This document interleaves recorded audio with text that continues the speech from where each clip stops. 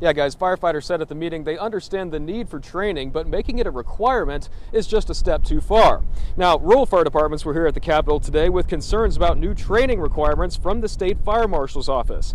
Officials there say there needs to be a set of uh, a set level of training for all firefighters in the state to improve firefighting efforts. However, Fire officials in some rural volunteer departments argue it would negatively impact their departments that rely on people that already have a day job outside of firefighting. Now, some of them argue it would push volunteers away because they would not meet state requirements and leave their fire department very short staffed. The state fire marshal says it won't be required for everyone, though. I look up to these people, but I'm telling you, yes, there is a way. Yes, we need training, sir, but you cannot mandate training for volunteers. We do need to come up with a mechanism, and you said we have to start at the top. You start at the top for a reason.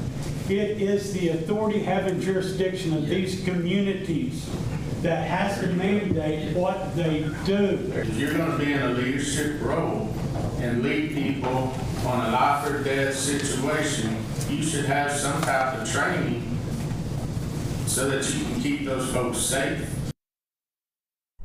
Now, Representatives Rick West and David Smith are also considering doing an interim study to see how to retain rural firefighters. At the Capitol tonight, Jason Berger, KOCO 5 News.